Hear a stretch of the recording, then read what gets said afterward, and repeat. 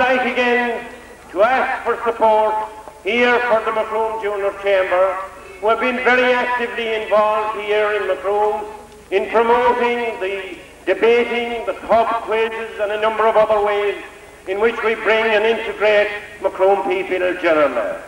But I finally say that I would like to extend to people who are amongst us here today from abroad, to extend to them a Míle Fáilte at their home and enjoying their, with their families St. Patrick's Day.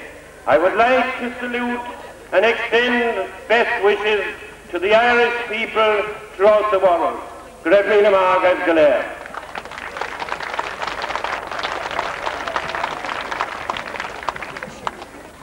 Thank you, Minister. Certainly food for thought there. Uh, we won't keep you much longer, but just wanted to announce the results. Uh, first of all, the fancy dress, and the first prize is the Pink Fairy Queen.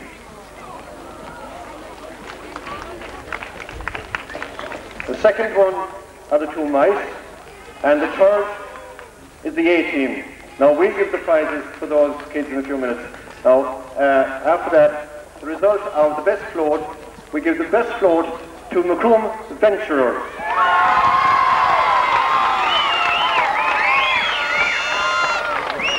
And the second prize in this category goes to Macroom Motor Services. Without further ado, ladies and gentlemen, I bid you a good, uh, good day. And thank you again for coming. We've been enjoying today. People getting very well. Okay, thanks again, everybody. Thank you very much.